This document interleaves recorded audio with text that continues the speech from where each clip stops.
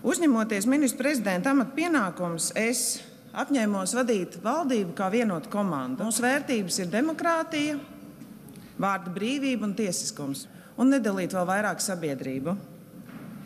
Mēs esam politiķu paudze, kur nojauc padomu pieminekļus, un mēs esam paudze, kur skatās uz vērtībām. Mēs ieviesām partnerības regulējumu, kas stāsies spēkā pēc divām nedēļām. Tik ilgi debatēja. Likās, ka valsts apstāsies. Valsts nav apstājusies. Šie cilvēki, kas arī ir daļa no mūsu sabiedrības, ir ārkārtīgi svarīgi, lai viņi justos Latvijā pieņemti, integrēti un gaidīti.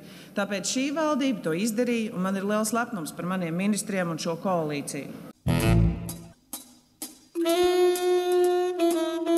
Un jā, Latvija Eiropā Latvija transatlantiski ir zināma kā digitālā lielvalsts, lai arī ja investori atbrauc uz šejienu un investori no Norvēģijas gaida rindā, lai tiktu izstāstīt savas uh, plānus, kā viņi redz, kas viņiem ir vēl nepieciešams, lai viņi varētu ātrāk attīstīt biznesu šeit.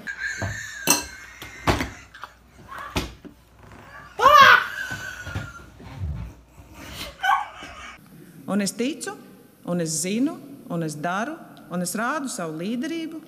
Skolotāji, jūs zināt, par ko jūs šeit esat atnākuši strīdot? Par ko? Par ko? Jums algas nepalielināja valdība.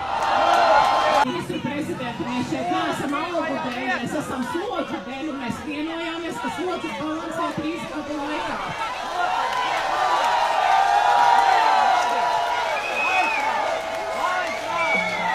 Jūs varat atbalstīt valdību, jūs varat arī neatbalstīt. Jūs varat kliegt, bļaut un raidīt tiktu kā sliktus signālus mūsu sabiedrībai.